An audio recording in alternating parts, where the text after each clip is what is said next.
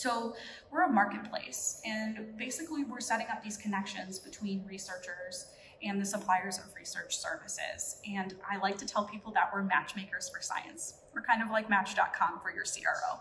So any size organization, whether you're big, you're small, you're academic, maybe you're completely virtual, you're in your garage, you can come to us and say, I need to run these kinds of studies and I have these parameters, please help me find someone. And that's what we do. And we actually support um, a lot of companies that you probably know about. Um, we have over 100 full-time employees now, and we serve 24 of the 30 top global pharma. So we actually have people all over the world that are driving us towards our goals. And I feel really lucky to work with such a diverse group. I have colleagues in Japan and in Tokyo. I have colleagues in Boston. I have colleagues in Canada, um, in the UK, in Europe, all over the place.